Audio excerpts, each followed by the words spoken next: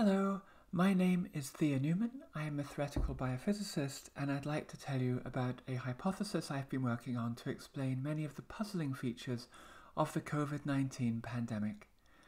In the description below this video, you'll find a link to a much longer presentation that goes through all of the ideas that I'll talk about here, as well as a link to a scientific report that describes this work.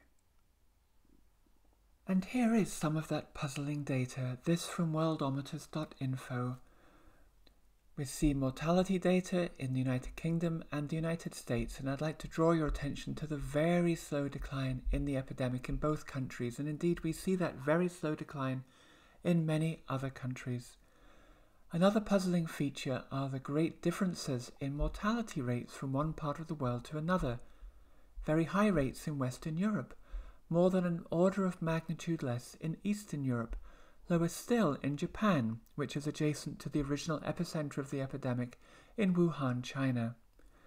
High rates in the US, but within the United States, nearly two orders of magnitude difference in mortality rates from state to state. Those enormous differences in mortality rates from one geographical region to another imply to me that there may be some form of long distance interaction between infected and susceptible populations. Therefore, the hypothesis I'm proposing is that there is an influence over long distances whereby infected populations can immunologically precondition uninfected populations elsewhere.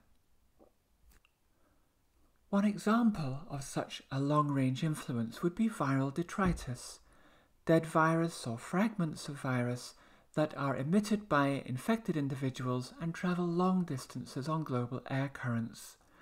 I estimate in the paper that if 1 million people are infected with COVID 19, then on average each of us would inhale about 1,000 viral fragments per day.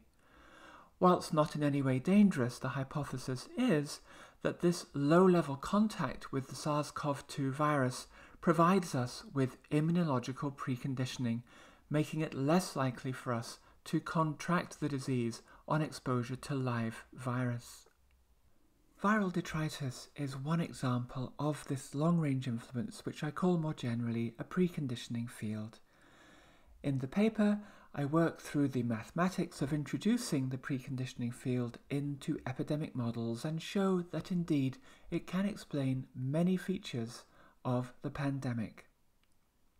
The viral detritus example of a preconditioning field can be tested by studying global air current data from the period January to June 2020, where those regions of the world downstream of epidemic hotspots experiencing less severe forms of the epidemic. More generally, the preconditioning field idea gets us to think about population levels of immunological connection. Are we all perhaps more connected than we might currently think in terms of our immune systems? In the paper, I explore some evolutionary arguments that might support that. Thank you very much for your attention. I hope you found this interesting, and please do check out the longer presentation and the paper. Goodbye.